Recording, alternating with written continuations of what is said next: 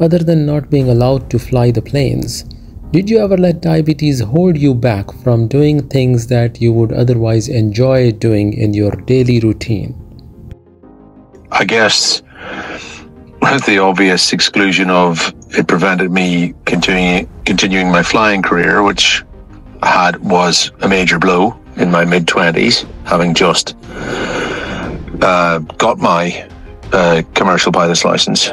Um, I think beyond that, the answer is has to be no. Um, I've done everything I've wanted to do. Uh, of course, with diabetes, you clearly have to put a little bit of extra thought into it sometimes. No point in going for a long hike up a mountain if you don't have plenty of sugar with you. No, you can't go scuba diving if you don't know what your blood sugar is and you haven't eaten properly and you're not confident that you're not going to have a hypo whilst you're 20 meters underwater.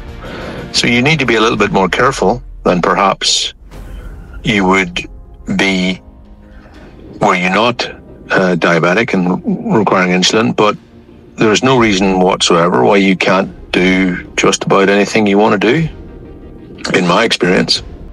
Thank you, Simon, for sharing such a strong message for our patients on World Diabetes Day. Clearly, you accepted this diagnosis as a challenge and took it to another level to achieve success in your life. Well done for that, Simon. Stay blessed and keep it up.